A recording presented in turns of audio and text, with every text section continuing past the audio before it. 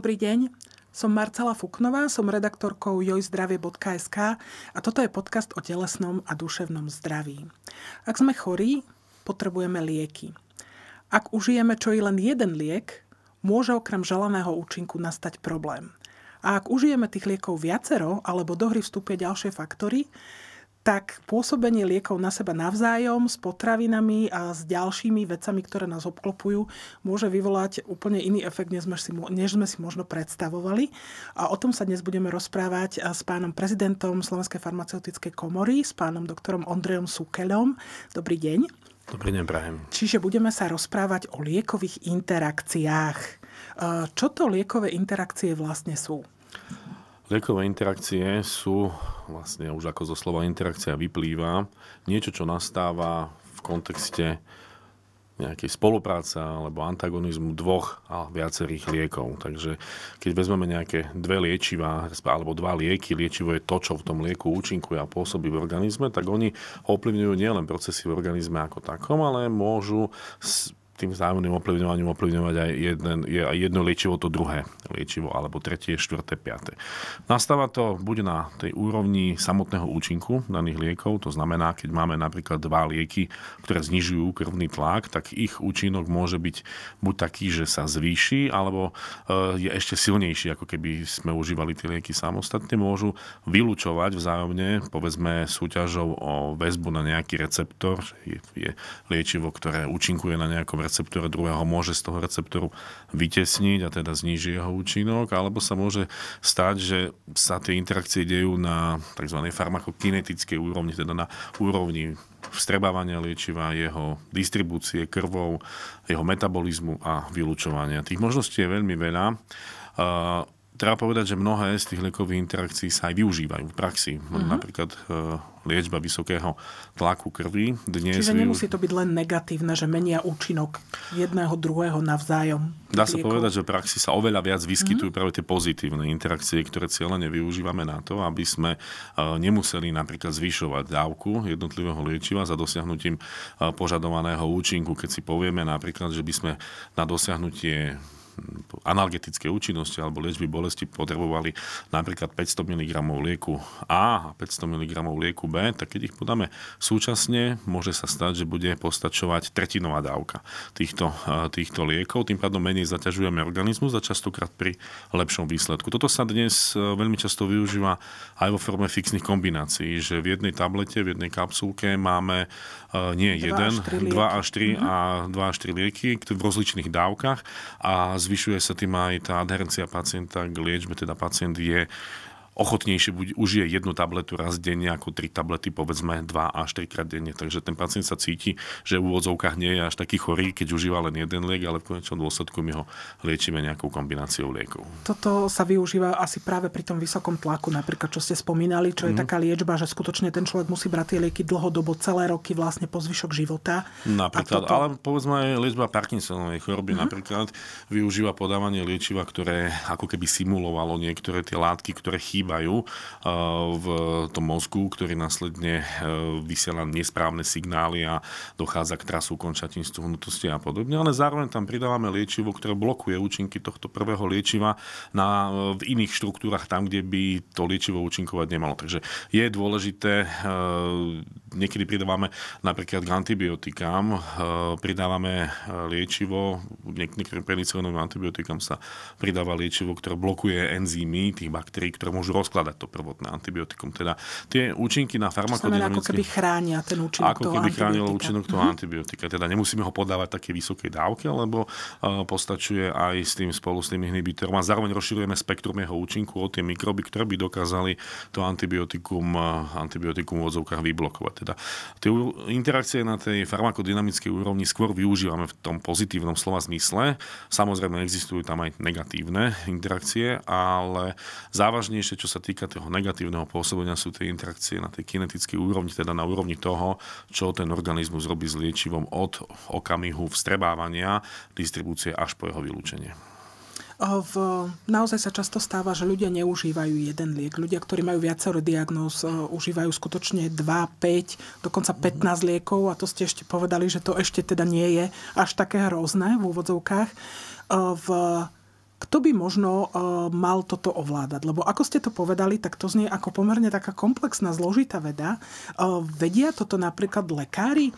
Lebo lekári, dajme tomu, uh, často ako keby nevedia aj o sebe navzájom. Hej, že jeden lekár predpíše človeku jedny lieky. Ja viem, že sa to už vyskytuje v rôznych aplikáciách, ale môže sa to stať. Kto toto rieši? Napríklad, že sa pozriete, že tak vy máte predpísané toto, dali vám toto, to môže byť problém. Sú to lekári, alebo ste to vy lekárnici? Kto to je? Keby som chcel byť veľmi sarkastický, tak poviem, že veľmi to nerieši nikto, mm. ale mm, existuje špecializácia, ktorá sa volá klinická farmácia a to sú práve farmaceuti, ktorí sa vyskytujú v našich podmienkach, hlavne v nemocniciach a zameriavajú sa práve okrem iného aj na vhodné, respektíve nevhodné kombinácie jednotlivých liekov. V našich pomeroch je to úloha, ktorá je viac menej v tej takej ambulantnej, respektíve vo sfére verejných lekární s takým, takou, takým dobrodružstvom, ktorému sa venujú jednotlivci, ktorí sa tomu venovať chcú. Pre upokojenie treba povedať, že drvivá väčšina kombinácií liekov je bezpečná. Ako s nadsázkou hovorí kolega, ktorý prevádzkuje databázu, databázu liekových interakcií v Českej republike, že ľudský organizmus dokáže strašne veľa navzdory farmakoterapii, takže e, dá sa povedať, že väčšina tých liekových interakcií, ktoré sú už dnes popísané, má klinickú závažnosť veľmi nízku. Môže sa vyskytnúť, ale tá klinická závažnosť je veľmi nízka. A tých liekových interakcií, ktoré môžu, respektíve majú nejakú klinickú závažnosť, e, tak o tom o tom vie každý všeobecný lekár, o tom vie každý lekárnik, pretože to sú, tak povediať, učebnicové príklady, uh-huh. ktoré, s, s ktorými sa stretávame. Môžeme skúsiť možno povedať jeden, dva? Uh, tak úplne taký základný, keď sa povie lieková interakcia, tak každému, kto sa pohybuje v oblasti medicíny, vyskočí varfarín, to je liečivo, ktoré sa používa na zražanlivosť krvi a má jednu zaujímavú vlastnosť, že má veľmi úzke to terapeutické okno, to znamená, uh, máme istú dávku, ktorá nespôsobí účinok, to znamená, ten pacient má riziko nejakej, trombo, trom, nejakej trombózy alebo nejakej podobnej príhody.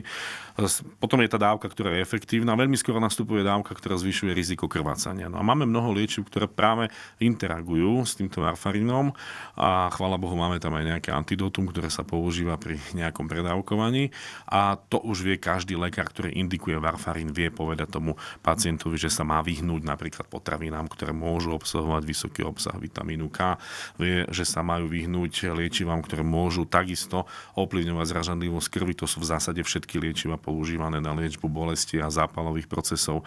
Ale potom sú tam aj nejaké e, také, také tak povediať spikošky, že napríklad niektoré antidepresíva, e, ktoré blokujú spätné vychytávanie serotonínu, takisto v kombinácii s niektorými liekmi môžu zvýšiť riziko, e, riziko krvácania. Tá interakcia je niekedy skôr na takej teoretickej báze, ale treba ju mať kde si na pozadí, zvlášť u tých pacientov, Čiže nemusí to to postihnúť každého? Áno, a treba mať na pamäti zvlášť tých pacientov, ktorí dlhodobo užívajú nejaké lieky alebo majú, majú tendenciu kombinovať viaceré lieky z jednotlivých skupín. Uh, ako, ako to také... mi teraz napadlo, že toto keby niekto dobre ovládal, tak to by sa naozaj dalo zneužiť nejakým spôsobom veľmi závažným. No, napríklad, keď si spomíname na Slobodana Miloševiča z veľmi známeho z Srbska, áno. áno, z tej vojny v Juhoslávii, ktorá bola bol súdený, bol väznený v Hágu, tuším, a on užíval veľké množstvo liečiv, ktoré sa používajú na opravu tlaku krvi a liečbu poruch srdcového rytmu. A mnohé, po jeho smrti sa v jeho krvi našli stopy rifampicínu, to je liek, mm-hmm. to je antibiotikum, ktoré je veľmi rezervované, nepoužíva sa pri bežných ochoreniach, ale užíva sa pri liečbe tuberkulózy. Zvlášť a je preukázané, že mnohé liečivá, napríklad na liečbu poruch srdcového rytmu alebo, alebo poruch tlaku krvi a zražanlivosti krvi interagujú s rifampicínom. Rifampicín je jedno z tých liečiv, ktoré vykazujú závažné liekové interakcie a to takým spôsobom, že de facto neguje účinok mnohých liekov. To znamená, teoreticky je niečo také využiteľné aj u ľudí, ktorí sa liečia a v konečnom dôsledku tie ich lieky budú uh, neúčinné. neúčinné. Mhm. Nechcem tým povedať, že to bol nejaký či už suicidálny alebo iný úmysel, ale uh, bolo to publikované a dodnes sa tento príklad používa v učebniciach, ktoré hovoria o liekových interakciách ako, ako ako niečo... Bol tam každopádne nejaký zásah zvonka, lebo tie nejaký, za, nejaký zásah dostali. v najstraženejšom väzení, zrazu človek užíva liek, ktorý by užívať nemal a v jednej učebnici liekových interakcií to bol tento príbeh pomenovaný v kapitole, ktorá sa volá, že mŕtvý muž neprehovorí. Hej, takže mm. e, ťažko povedať a to sa už asi zrejme nikdy nedozvieme, ale je to taký učebnicový príklad e, liečiva, to je ten rifampicín, ktorý sa užíva veľmi málo, ale e, je to antituberkulotikum, respektíve aj pri niektorých takých iných vážnejších infekciách. Treba myslieť na to, aké iné liečiva ten pacient užíva. Čiže to sú také veci naozaj z detektívok a možno aj často, ale e, chcem sa opýtať na to, že je možné naozaj, že keď človek užíva tých liekov skutočne 10, 15, ako sme hovorili, že by tieto vzájomné liekové interakcie tam nenastali? Že by neboli? Určite je to možné. Ja mám pacienta, ktorý má pomerne veľa diagnóz. Epile má, užíva antiepileptika, je to diabetik, je to astmatik a popri tom vlastne štandardná hypertenzia, čo už patrí k jeho veku a popri tom užíva okrem iného aj lieky na zmiernenie dopadov týchto ochorení, povedzme diabetická neuropatia a podobne. On má indikovaných 27 liekov. A keby ste sa na neho pozreli, tak si poviete, že to je zdravý, zdravý muž v najlepších rokoch okolo 60 Takže má tu liečbu... Lego. A dal som si tu námahu pozrieť si tie jeho lieky vo viacerých aplikáciách, vo viacerých databázach liekových interakcií. A áno, boli tam vykázané liekové interakcie, u ktorých však nebola nejaká klinická závažnosť, ktorá by indikovala úplnú kontraindikáciu, ale všetky tieto liekové interakcie boli riešiteľné napríklad zmenou dávky. Takže my keď vieme, že niektoré liečivo môže spôsobiť to, že sa e, hladina v plazme, teda v krvi iného liečiva zvýši, tak my vieme upravovať dávku tohto liečiva. To je bežné napríklad pri užívaní diurety, ktoré zadržiavajú draslík v organizme, tak vieme, že iné liečiva, ktoré môžu takisto viesť k zadržiavaniu draslíka, nastavíme tú dávku takým spôsobom, aby nedochádzalo k hyperkalemii a teda k nejakým poruchám srdcového rytmu. Takisto eh, povedzme mnohé eh, lieky užívané na liečbu vysokej hladiny cholesterolu je pomerne závažná interakcia s klaritromicínom. To je bežne užívané antibiotikum makrolidové, ktoré môže až o 200-300% zvýšiť hladinu toho liečiva na liečbu cholesterolu. A my tam vieme tomu pacientovi povedať, že tá liečba cholesterolu nie je niečo okamžité, je to niečo dlhodobé. A teda, že tam povedzme, tak, že počas týždňového vysadenia tej liečby, e, tej liečby vysoké hladiny cholesterolu neumrie na ten vysoký cholesterol, ale bude dosiahnutá jednak efektívna liečba tej infekcie, ktorá ktorú potrebujeme liečiť a zároveň nedôjde k riziku vyplývajúceho z liekových interakcií. Antibiotika sú možno takou samostatnou kapitolou, lebo stretol sa s nimi asi každý, ľudia ich užívajú bežne. V, aké sú tam také časté známe liekové interakcie a možno nielen s liekmi, ale aj s potravinami, prípadne s ďalšími vecami, k čomu sa teda dostaneme. Čo treba pri antibiotikách mať na pamäti? Pri antibiotikách treba v prvom rade na pamäti to, že všetky bežne užívané antibiotika sú bezpečné a nevykazujú nejaké klinicky závažné liekové interakcie, snad s výnimkou toho, tých statínov, ktoré som povedal. Dôležité je dodržiavanie dávky. Tam skôr ako nejaký interakčný problém je problém s dodržiavaním dávky a časového režimu a teda aby bola vždy dosiahnutá tá e, koncentrácia, ktorá je dôležitá na ten liečebný účinok. A tá tretia posledná vec je tá, že treba niekedy vedieť zvážiť skôr tie potraviny potravové a nie ako liekové interakcie. A teda, že čo sa užíva pred jedlom, čo sa užíva po jedle, že penicilínové antibiotika sa lepšie vstrebávajú v žalúdku, ktorý nie je úplne preplnený. Povedzme pri tých tetracyklinových a chinónových antibiotikách je dôležité neužívať mlieč, mlieko, mliečne výrobky alebo niečo s vyšším obsahom vápnika. Rovnako si treba dať napríklad pozor na multivitamíny, ktoré ľudia s radosťou užívajú pri, pri antibiotika, ale mnohé z nich obsahujú aj tie minerálne látky, ktoré sa doplňajú spolu s vitamínmi, tak nie je vhodné zapíjať napríklad týmto, pretože môže dochádzať k vzniku nevstrebateľných komplexov, ktoré, ktoré môžu viesť k tomu, že sa vstrebe nižšia dávka antibiotika, ako je pre toho pacienta potrebná. No a potom je tu alkohol. To je taký otrpaný vtip, že každý človek sa, normálny človek sa opýta, že pri antibiotikách ako to má dávkovať, Slovák sa opýta, či môže vypiť. A teda mm, alkohol v zásade pri nejakej takej bežnej dávke nespôsobí nejaké dramatické, dramatické zmeny v užívaní antibiotík, ale u niektorých mnohých antibiotík, schválne nepoviem ktorých, sa môže vyvinúť aj antabusový efekt. To znamená, že môže byť skôr človeku oveľa viac zle ako pri bežnom užívaní alkoholu. Jasné, čiže možno vtedy mu ten alkohol práve, práve naozaj mm. neurobi dobre. V, keď sme toto spomenuli, čo sa týka toho dávkovania, to by sme možno mohli povedať, lebo ľudia zostávajú takí bezradní, že teraz zabudol som si dať to antibiotikum a teraz čo mám robiť? Mám čakať do tej ďalšej dávky, alebo si ho mám dať okamžite, alebo si mám dať dve naraz, keď som to už nestihol. Čo vtedy? Áno, tak, také všeobecné pravidlo je také, ktoré hovorí o tom, že vziať tú dávku, ktorú som zabudol vtedy, keď si na to spomeniem a potom pokračovať podľa normálneho časového režimu. Takže pokiaľ toto dodržíme, nie je čo pokaziť. E, na druhej strane dávkovanie antibiotík už dnes nie je také dramatické, ako bolo kedysi. Ja si ešte pamätám, ako mňa a moji rodičia budili v noci ako malé dieťa, alebo sa niečo užívalo každé 4 hodiny a podobne. Dnešné liekové formy a dnešné antibiotika umožňujú dávkovanie 1 až 2 krát denne a to verím zvládne každý, kto má nejaký telefón, na ktorom si vie nastaviť budík. Čiže už to nie je naozaj, že každých tých 6 hodín Áno, toto, toto bývalo. Ja, fungovali. Penicilinové sa užívali prvé dva dní každé 4 hodiny, následne sa prechádzalo na 6 hodinový režim. Dnes tie niektoré penicilinové antibiotika v niektorých dávkach užívame každých 8 hodín, čo je takisto relatívne bezpečná perióda. Hoci niektorí pacienti, keď im poviem, že každých 8 hodín, tak to názvu to znamená, že ráno o 8 a večer o 8 nie. To znamená po 8 hodinách. Teda tu je dôležitá tá komunikácia, že nie, nie len tá informácia je, je dôležitá, ale aj tá interpretácia informácie je dôležitá. Teda vždy sa treba uistiť, či to, čo hovorím pacientovi, je aj nejakým spôsobom na druhej strane prijaté. Ja som bola prekvapená, že jedna z najčastejších najčastejších otráv liekových je otrava paracetamolom, podľa toho, čo hovorili eh, rôzni lekárnici. Eh, je to tak, že eh, tam ľudia možno často si neuvedomujú, že rôzne prípravky s rôznymi názvami obsahujú ten paracetamol takisto. Čo sa ano. stane, keď naozaj človek užije toho paracetamolu viac, ako by mal a na čo si teda treba dávať pozor pri tomto bežnom, bežnom lieku na znižovanie horúčky?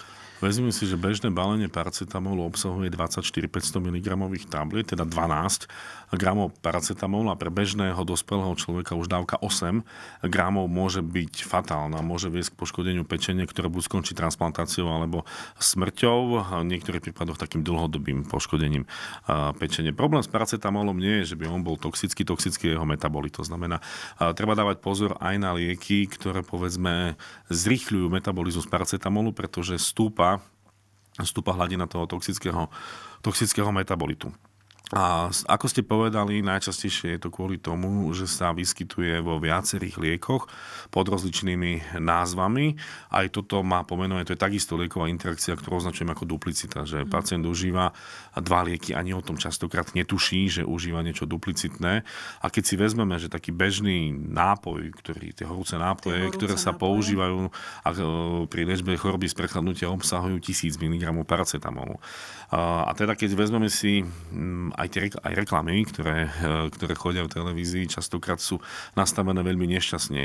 Príde čo chorý človek kýcha kašle, vypije nápoj a ide do divadla, tak jednak pomáha efektívne šíriť ďalej, e, ďalej toto ochorenie. Áno, ale keď si taký dospelý človek, tak prečo by som si urobil jeden, dám si dva, je to sladké, je to teplé, pomáha to, tak vypijem dva tie nápoje, urobím to trikrát denne, už mám v sebe 6 gramov paracetamolu, pomedzi to si dám nejakú tabletu, veď prečo nie. E, dosiahnutých 8 gramov denne nie je až taký problém, ako sa môže na prvý pohľad zdať. A tu napríklad existujú práce, ktoré popisujú rozdiely v neúmyselných otravách paracetamolom u krajín, ktoré umožňujú, umožňujú voľný predaj liekov, povedzme mimo lekárni. Tu nejde o to, že kto sa chce otraviť, že pôjde do lekárne a vezme si toho paracetamolu koľko chce, lebo je dostupný bez lekárskeho predpisu, ale ide skôr také mentálne nastavenie, že keď niečo leží v poličke medzi, medzi, medzi keksíkmi, tak prirodzene to vnímam ako niečo neškodné, bezpečné, ako keď sa preto musím vybrať do lekárna. Je dnes preukázané, že v krajinách, kde je tá dostupnosť paracetamolu taká voľná, sú tie neumyselné intoxikácie oveľa častejšie. A napríklad pred dvoma týždňami v Austrálii začali tento problém riešiť s tým, že idú obmedziť balenia paracetamolu, že budú v tej bežnej obchodnej sieti, pretože tam sú niektoré lieky bez lekárskeho predpisu dostupné v bežných obchodoch, budú dostupné len do istej dávky. E, vyššia dávka povedzme tých nejakých 30 tablet bude dostupná len v lekárniach a ešte vyššie dávky budú dostupné len na lekársky predpis. Takže už krajiny zavádzajú opatrenia, ktoré vedú k tomu, aby sme, aby sme chránili ľudí pred vlastnou možno neznalosťou, respektíve nezodpovednosťou. Čiže má to, má to skutočne význam, aby sa to mm. predávalo v lekárni a aby to ten lekárnik mali s tým spôsobom pod ohľadom a mohol to s tým človekom odkomunikovať.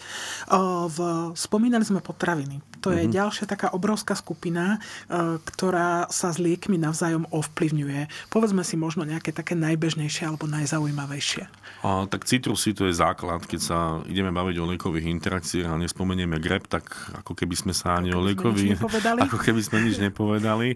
Je taká jednoduchá poučka, čím väčší citrus, tým väčší problém. A teda práve ten greb je ako jeden z najväčších citrusov, ešte aj pomelo sa tam vyskytuje a, a oni obsahujú látky, ktoré inhibujú pečeňové enzymy cytochromu P450 a to je, e, to je tak možno komplikovane povedané, ale jednoducho povedané blokujú enzymy, ktoré rozkladajú, e, rozkladajú lieky a tým pádom tie enzymy pracujú menej a dochádza ku kumulácii liečiva v organizme a zvýšeniu hlavne jeho nežiaducich účinkov. Teda, mm, dá sa povedať, týka sa to takmer všetkých liekov, teda pacienti, ktorí sú liečení či už na hypertenziu, poruchy srdcového rytmu, vysokú hladinu cholesterolu, diabetes, neurologické ochorenia, s veľkou opatrnosťou užívať, užívať citrusové aj džusy, aj plody a podobne. To neznamená, že zjem raz za týždeň pomaranže umriem, ale práve tie veľké dávky a boli popísané niekedy do 200-300% zmenené hladiny liečiva v krvi. To už je naozaj teda akože mm-hmm. veľký rozdiel.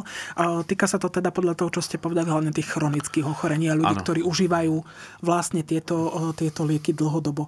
V ktoré ďalšie potraviny vstupujú do hry? Spomínali sme to mlieko. Tie mliečne výrobky sa naozaj s niektorými liekmi ovplyvňujú. Áno, mlieko, mliečne výrobky. V zásade môžeme povedať, že aj lieky, ktoré obsahujú napríklad vápnik, pretože tie sa často používajú ľudí, ktorí majú osteoporózu alebo u malých detí. Často spomínaný sírup s obsahom kalcia, ktorý sa všade vo svete užíva na doplnenie kalcia iba u nás nás proti kašľu, e, takisto môže ovplyvniť účinok mnohých liekov. Napríklad lieky, ktoré sa používajú na liečbu štítnej žľazy, hormóny štítnej žľazy, môžu interagovať e, nielen s tým vápnikom, ale aj so železom a inými minerálnymi prípravkami. Preto každý, kto užíva, má dostane poučku, že má ho užívať nalačno, tie hormóny štítnej žľazy. A to nie je samoučel na poučke, je to práve kvôli tomu, aby tá vstrebateľnosť nebola ovplyvnená nejakými faktormi, ktoré sa, ktoré sa môžu vyskytnúť. Podobne je to napríklad aj s liekmi, ktoré sa užívajú pri liečbe osteoporózy. Tam je zase nízka vstrebateľnosť a práve preto my tú vstrebateľnosť chceme dosiahnuť čo najvyššiu. A teda keď zo 100 mg nejakého liečiva sa efektívne vstrebe 20 mg, my keď e, to ovplyvníme na 10, tak ovplyvníme polovičku. Že my neznižíme o 10% dávku toho liečiva, ale o polovicu. Hoci ovplyvníme vstrebateľnosť jeho 10%. A, takže mlieko, mliečne výrobky, minerálne látky u týchto liečiv môžu spôsobiť problémy. Už spomínané chinónové antibiotika alebo tetracyklinové antibiotika rovnako vytvárajú tie nejaké komplexy, ktoré, pri ktorých môže dochádzať, dochádzať e, k neúčinnosti antibiotickej liečby. sa pri pomerne závažných infekciách používajú? Aj pri závažných, aj pri menej závažných, ale v konečnom dôsledku je tá menej závažná infekcia pri nedostatočnej liečbe sa môže vyvinúť v závažnú. Môže vyvinúť v závažnú, presne tak. V, ľudia majú radi čaje a mm-hmm. ich mhm. používajú. Aj bylinkové čaje, najrôznejšie. V ľubovník bodkovaný sa napríklad bežne používa na upokojenie, na, ľudia ho majú kvôli jeho sedatívnemu účinku možno. V, ako sa ovplyvňujú také tie v úvodzovkách neškodné čajíky s inými liekmi. tak, takisto, ako sme spomínali greb, takisto nespomenúť ľubovník, ako keby sme nehovorili ano, o liekových interakciách. Takže ľubovník robí pravý opak toho, čo robí greb. On zase stimuluje činnosť tých, tých pečeňových enzymov a teda rýchlejšie odburáva to liečivo v krvi a teda môže znížiť účinnosť daného liečiva. Čiže dať si ľubovníkovi čas trochu grepovej šťavy. A to je veľmi zaujímavá otázka, pretože boli robené experimenty, že sa najprv podával inhibítor enzymov, potom sa podal, podal induktor, alebo naopak a vlastne sledovalo sa, čo to u zdravých dobrovoľníkov robí. A dne, my dnes vieme, že tá inhibícia nastáva rýchlejšie ako indukcia. Uh, takže môže sa to, na jednej strane to môže vyzerať logicky, Čiže ale na druhej tá brzda nie je veľmi, nie, nie, nie, nie, nie, nesúvisí nekoreluje navzájom inhibícia s indukciou, čo sa týka tej kvantity daného účinku, ale áno, ľubovníkový čaj má tieto popísané účinky. Potom máme ďalší ginko napríklad. Ten môže byť v prípade niektorých liečiv inhibitorom, v prípade niektorých induktorom týchto enzymov, pretože my máme celé rodiny mhm. týchto enzymových systémov. Potom máme ľudí, ktorí sú povedzme rýchlejšie metabolizujú, pretože majú istú takú genetickú nechcem to nazvať poruchu, ale odchýlku, že rýchlejšie metabolizujú niektoré liečiva. U tých takisto je vhodné sa zamyslieť nad tým, akým spôsobom budú, budú, budú užívať.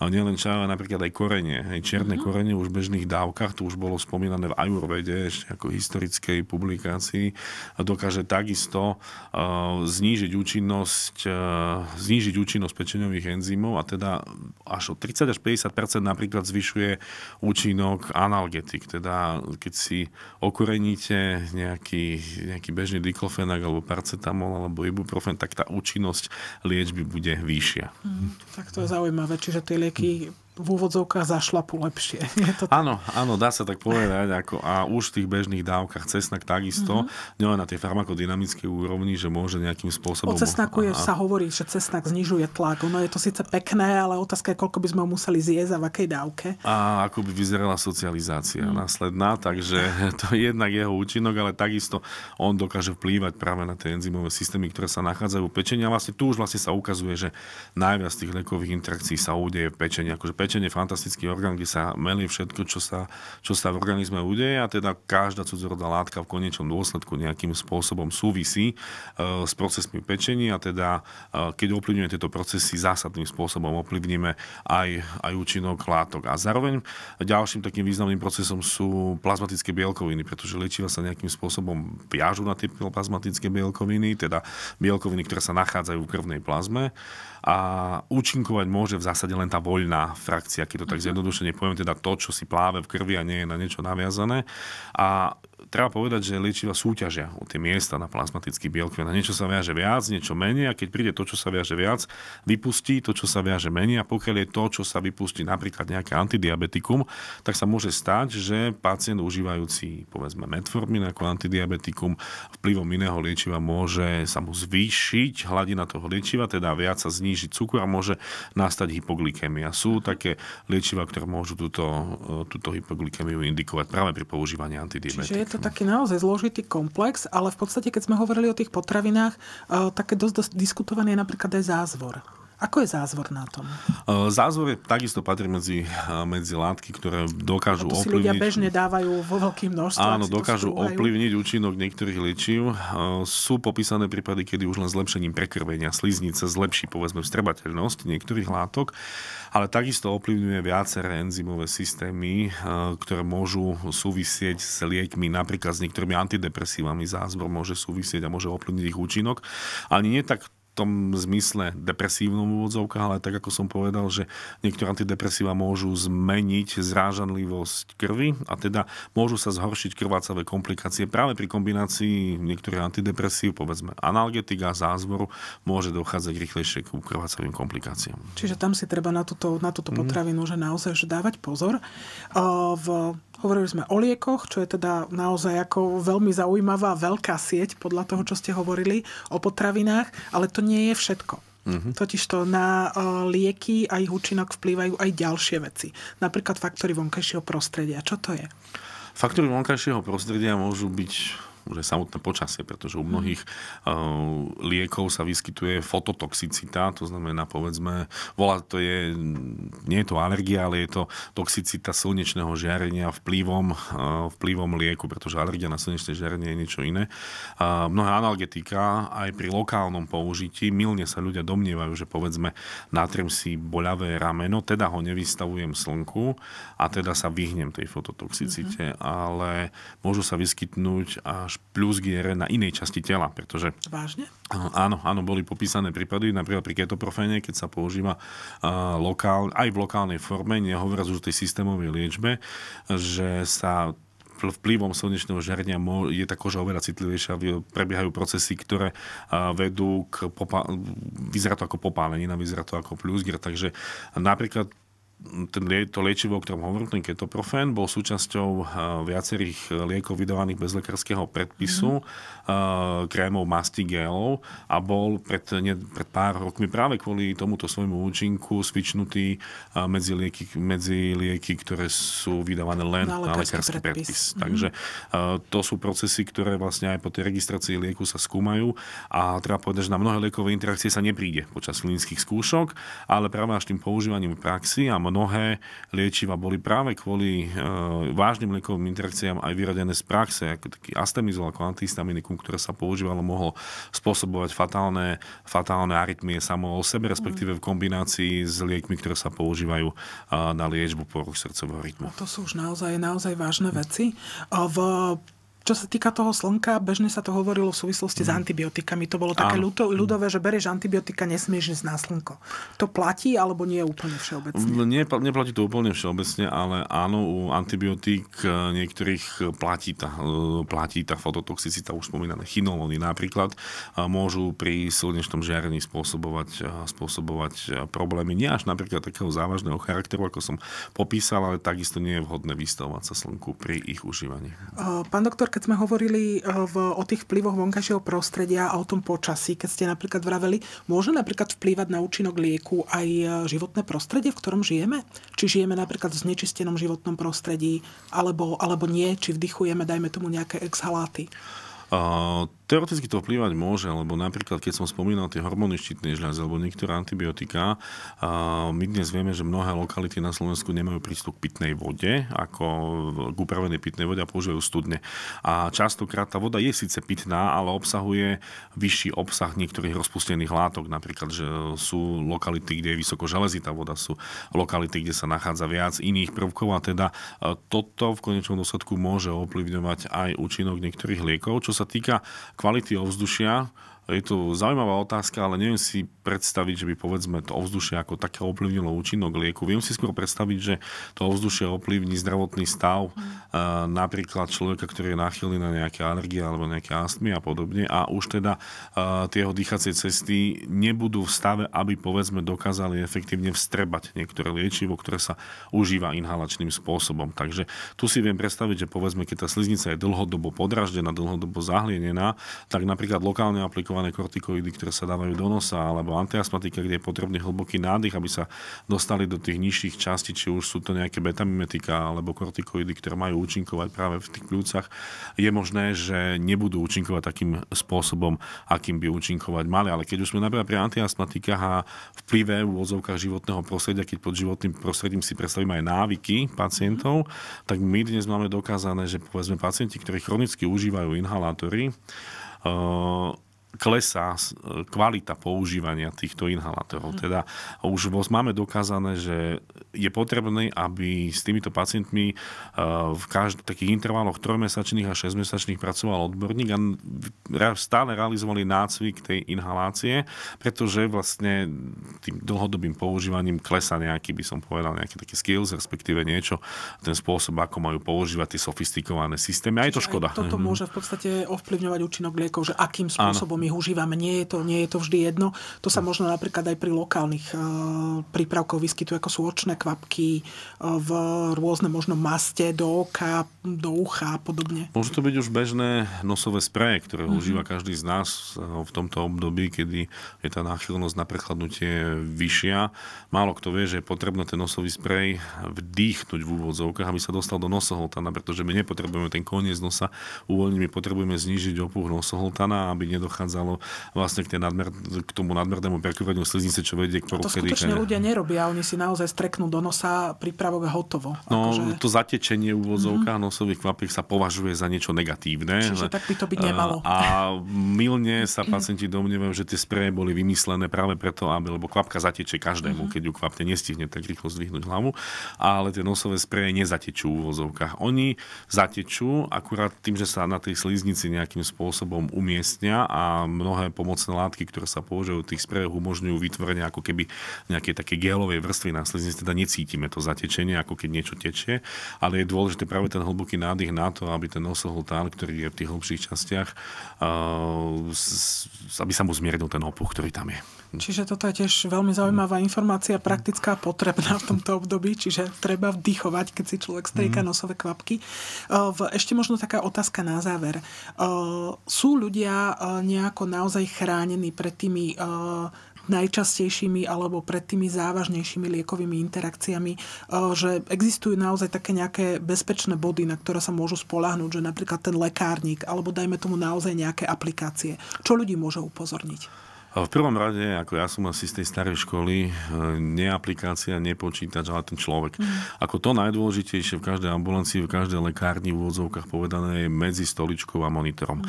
A teda už len tá samotná diskusia s lekárom, dôležité povedať všetko, čo užívam, lebo častokrát e, ľudia e, tak milne si myslia, že idem k zubárovi a zubár sa ma opýta, aké lieky užívate, tak on sa zamyslí nad tým, čo môže ovplyvniť zubný kás, čo môže ovplyvniť kvalitu ústnej dutiny, ale napríklad užívanie antiepileptik môže závažným spôsobom toho pacienta po použití lokálneho anestetika, uh, chcel som použiť slovo, slovo vypnúť, ale vypnúť. doslova vypnúť. Uh, takisto pacienti, ktorí užívajú antiarytmika. Možno ich ani nenapadne, že... Ale už tí zubní lekári sa pýtajú, neužívate náhodou toto, neužívate toto, pretože už oni vedia tie rizikové leky, ktoré u nich sú. Takisto všeobecný lekár, ktorý by mal byť integrujúcim faktorom polymorbidných pacientov, pretože častokrát sa stáva, že pacient je liečený ortopédom, neurologom a oni, je, sú to podobné, podobné, e, podobné špecializácie, teda povedzme pri liečbe môže, bolesti môžu, môže dochádzať k duplicite alebo k nejakej nežadúcej interakcii, ktorá vedie k toxicite tých analgetik, antiflogistik, ktoré sa používajú. E, potom je tu lekárnik, netreba sa báť a určite aj pri liekoch, ktoré sú vydávané bez lekárskeho predpisu, sa treba proaktívne pýtať. Eh, už aj tie lekárnici povedzme sa pri niektorých liekoch pýtajú, že toto neužívajte, respektíve informujú, ale nedá sa to takto zovšeobecniť. No a potom ten druhý level, chvála Bohu, my dnes máme eh, počítačové aplikácie, ktoré sú v ambulanciách, ktoré sú v lekárniach, ktoré sú dokonca dostupné aj na internete. Tie ja síce veľmi nemám rád, pretože sa mi už častokrát stalo, že tá interpretácia, in, laická interpretácia informácie vedie k práve inému opaku, než k tomu, čo mu by mala viesť. Teda je dôležité vždy sa pýtať, všetko je vždy na konci jazyka a práve nedostatok komunikácie v živote spôsobil rozličné krivdy aj vojnové konflikty. Teda, teda treba sa rozprávať a treba dôverovať profesionálom, ktorých máme a treba sa možno aj pýtať. V, pán doktor, ja vám veľmi pekne ďakujem za zaujímavé informácie. Myslím, že v, boli naozaj prínosné a v, myslím, že môžeme byť radi, že máme okrem lekárov naozaj aj mudrých a vzdelaných lekárnikov, ktorí sú ochotní pomôcť a ktorí sa naozaj snažia komunikovať a zorientovať nás v liekoch a v ich účinkoch a v ich vzájomných vzťahoch. Veľmi pekne vám ďakujem za návštevu. Verím, že aj tieto informácie k tomu prispeli. Ďakujem pekne za pozvanie a verím, že tie slova, ktoré ste povedali, sa budú naplňať každým dňom. Verme v to. Ďakujem pekne.